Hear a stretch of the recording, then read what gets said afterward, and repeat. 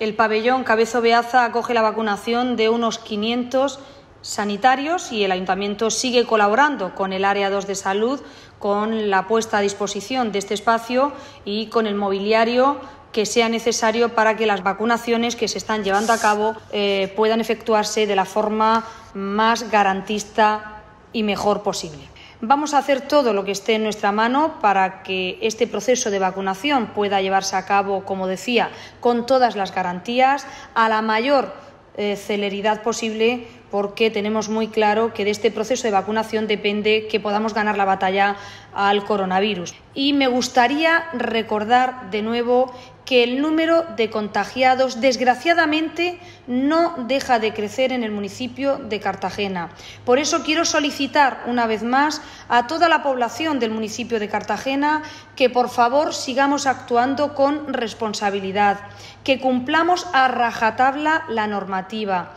que evitemos los contactos sociales y que en la medida de nuestras situaciones personales y de nuestra situación permanezcamos en casa siempre que nos sea posible.